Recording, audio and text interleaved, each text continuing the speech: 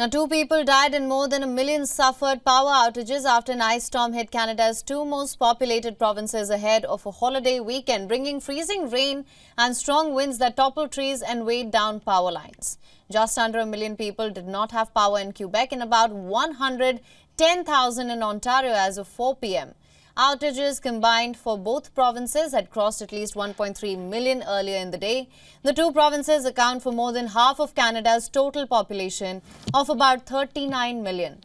Electricity providers in both provinces were working to restore power, but repairs were expected to continue for days, meaning many Canadians could spend Easter weekend in the dark. One man was killed in Quebec when a tree fell on him. Premier of Quebec said that at a briefing, cautioning people to watch out for live wires and weakened trees. Another man died in eastern Ontario when he was struck by a falling branch, a local broadcaster reported. Prime Minister Justin Trudeau, who was elected to Parliament in Montreal constituency, offered to provide federal assistance if required. Uh, I will be uh, sitting down with uh, the Premier in a couple of hours to talk about anything that we can do. I know the province and the City of Montreal have a tremendous amount of great teams on the ground doing work. Hydro Quebec is, is on it. Uh, but we will be there to, to support as necessary. I think the most important thing is to see yet again uh, what happens in times of difficulty. Neighbors helping neighbors. If someone's got power and the other don't, uh, we see them helping out. This is going to be a, a time for us all to pull together. To, to be safe and to uh, and to make it through as we always do.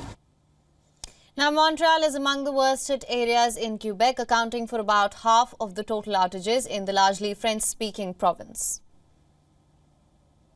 It's a very difficult moment for, uh, for Montrealers, for people across the region who have been uh, hit by this ice storm. Uh, obviously, uh, the power uh, the power being down for so many folks the trees coming down, hurting buildings and, and cars and, and whatnot, um, is of course an ongoing concern.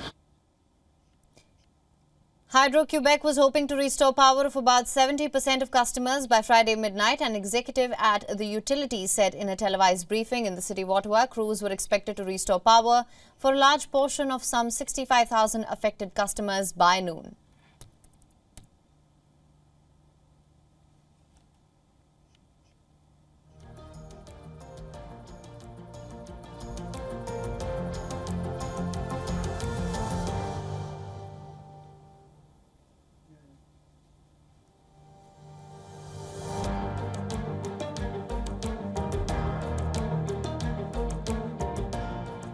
WION is now available in your country. Download the app now. Get all the news on the move.